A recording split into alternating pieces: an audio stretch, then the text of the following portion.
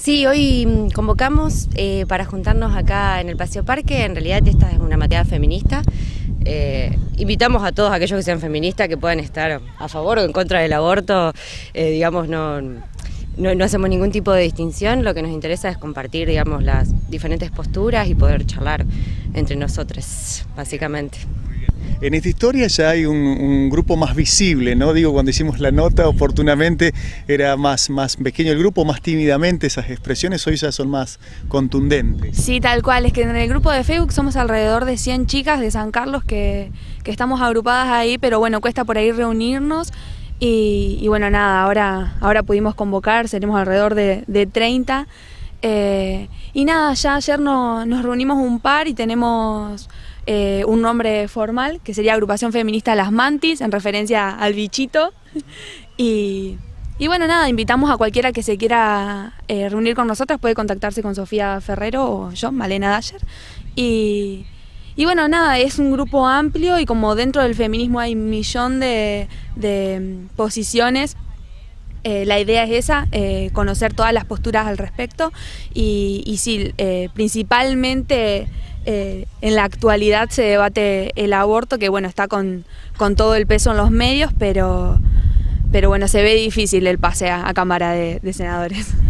Eh, por lo pronto hay, eh, un grupo de 30 diputados que están indecisos, ¿no? Eso es lo que dicen algunas expresiones mediáticas. Sí, así es. en realidad, bueno, los números los, vamos a ver ese día y se sabe que es un voto bastante personal, digamos, como que atraviesa va más allá de los partidos políticos, digamos, y de todo. Así que... Que, en realidad es un análisis erróneo, digamos, porque no lo tendrían que tomar personal, eh, tendrían que aprender a representar. Pero bueno, eh, se da de esta forma, sí. lamentablemente.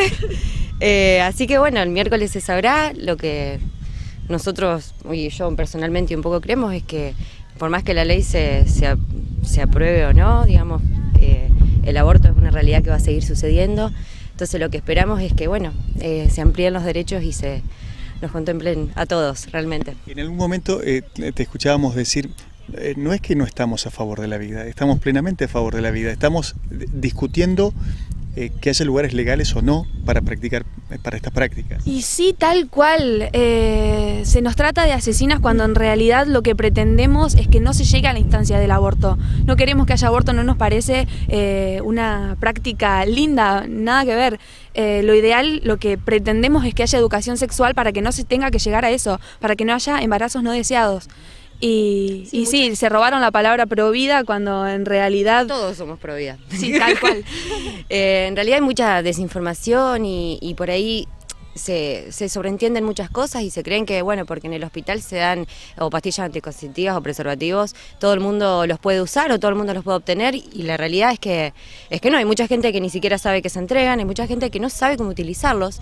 Por ahí cosas que damos por sentadas, que están como, como sabidas y que todavía hay que hacer un, un trabajo muy profundo de educación, digamos, de, dentro de todo lo que es, no solamente desde la anticoncepción, sino desde sexual integral, digamos.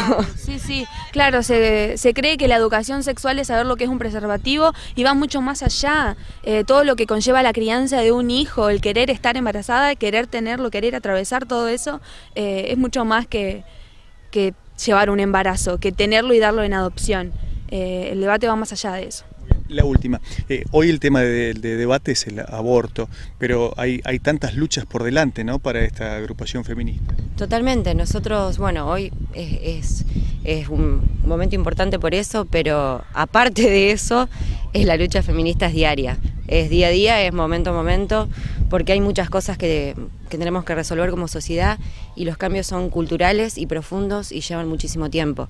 Entonces, eh, o sea, a nosotros nos parece que reunirnos y luchar por, por eso es, lo que hay que hacer, digamos, para salir adelante, porque esto sabemos que, que todavía da para mucho más.